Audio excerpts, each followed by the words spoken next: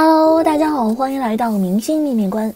随着双男主剧的火爆，去年共有五十九部作品进入备案，因此二零二一被称之为单改元年。可目前仅有《山河令》这部作品吃到单改红利，两位十八线小胡咖跻身顶流。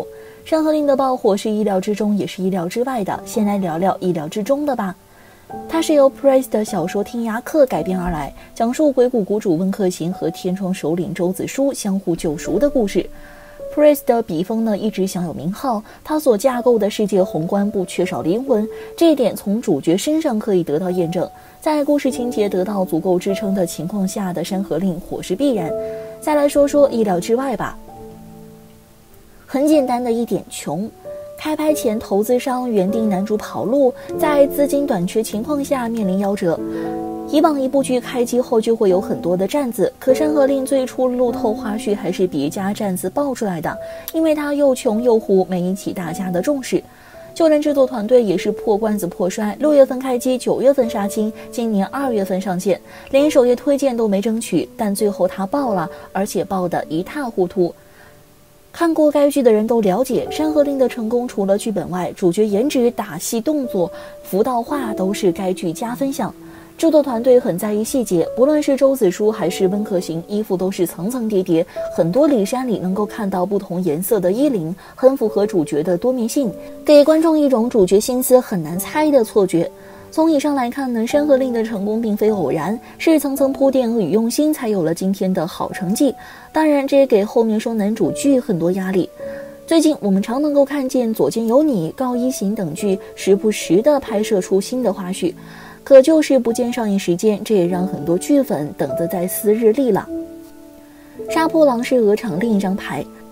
众所周知，《好一行》是鹅厂的宝贝，当时赋予了极高希望在这部作品上，只不过太过于贪首页推荐，如今卡在了审核上。当然了，鹅厂大家大业，这部暂时播不了，还有其他的作品。另外一部《和山河令》出自同一个作者，不论是人物性格还是故事背景，都要更加宏观一些。如果说《山河令》是批大练手作品，那么这部可以称之为他的成名之作，它就是《杀破狼》。这部剧主要讲述的是安定沈十六、谭次剑士与零落民间的四皇子长庚、陈哲远士共同成长，实现个人抱负的故事。四皇子长庚曾先陷狼群之中，就在准备接受命运时，沈十六出现了，将命悬一线的长庚救出。这次的出手相救呢，也让两人结下了深厚友谊。从这点来看，有过过命之交的兄弟情，着实让人血脉喷张。网暴杀破狼过审待映。据悉呢，《杀破狼》改名《烽火流金》已经获得了发行许可证，只要等待一个合适的时机就能够播出了。不过从目前来看呢，最快也要九月份了。毕竟今年七月和八月比较特殊，网友除了关注上映时间之外呢，主角颜值和造型也是成为关注点。主角之一的谭嗣健虽然说出道多年不温不火，但他颜值还是比较在线的，至少可以让人一眼记住。前不久在热播的《力哥行》当中，虽然是配角，但身上的光环很难让人不注意他。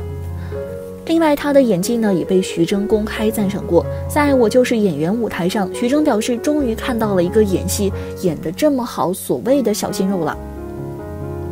那时是谭嗣健第一次站在舞台上表演，受到如此评价，可见实力不容小觑。另外，主角陈哲远虽然参演作品不多，但在圈中也是小有成就的。当年凭借武侠剧《绝代双骄》当中小鱼儿一角，获得国剧盛典年度潜力男演员奖，可见他的演技实力，当然颜值也很在线。